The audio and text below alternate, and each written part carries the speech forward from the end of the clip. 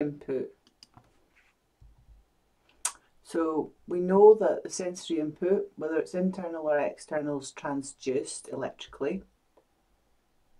So when we're seeing, we're making sense of the information, when we're smelling, touching, feeling the temperature, you know, what would the temperature be like in this room? And what would be the sense like? And what would it be like if somebody that you really liked was here and it was a surprise and it was so exciting and you got a big hug. Um, and so we notice when um, our heart starts beating faster for whatever reason, if we're excited because we see somebody we really like. So that's your internal and your external. It's all sensory input that we're making sense of. Our balance, our position, the angle things are at. Um, making sense of it all.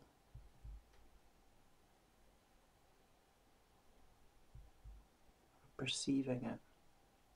So perceiving is a good word to be using. And then what happens if we were to recall this lovely day where we went to this lovely place and we met somebody we really loved? It was a surprise. And when we recall that, what happens is we activate the receptors that we made when we were having that experience and we there's traffic, neural traffic flows through them, and that signals for a change in our chemistry, and we experience that as case. And we might uh, we might picture what we saw.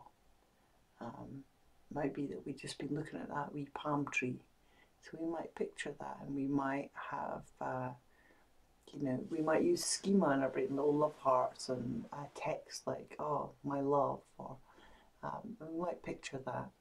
Um, or it might be that we're not somebody so much who accesses our imagery, cognitive visual. We might more access what we said to ourselves, like, wow, that was a surprise, or something they said to us, like some really nice thing they said to us, maybe we keep playing that again and again in our head. And of course, it can be the other way if we um, we were in this beautiful place and we got fright, or if we went to this place and we're allergic to these things, or perhaps that's how we become allergic. We're in a place like that and we get a fright, and we encode everything. We encode the sense and the molecules really that are in there. So then when we come across those molecules again, our brain matches them to the receptors we made and says, "Oh, oh, we need to run survival function. We need to need to survive. You need to get out of here." So it's really so useful to be thinking this way, thinking about the meaning that we give. You know, if our heart's beating fast, do we think, oh, "I'm excited" or "I'm scared"? Or what meaning do we give things? Do we think we're trapped?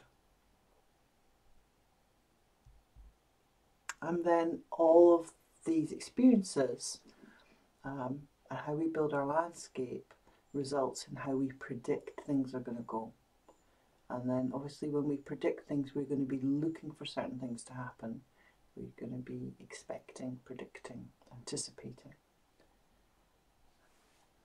And then later on, when we're, when we're working with people, we're going to be using this exact same mechanism, but we're going to use it uh, deliberately and we're probably going to be using words, although we also use our expressions and our movement and so forth, but we're mostly going to be using words, and so we call them cues. So I, I rather use a scientific word than cues for everything rather than talking about glimmers and triggers, because that's adding meaning. So I just like to keep it neutral, cues, especially with havening, because people's response to a cue is going to change so much. It's probably going to change, say we're doing event havening, response to the cue is going to be um, you know, scared, recoil, survival system. Then they're going to go to kind of neutral as they go down the V scale to zero, and then they're going to be up the V scale as they start to change their response to that stimuli. Where they start to realize, oh, I, I really like that. That's great. So, um, so I like to. It helps create the space for that change to happen. If you say cue rather than saying trigger to glimmer. and it and it allows it kind of opens it up, and it's more scientifically uh, correct.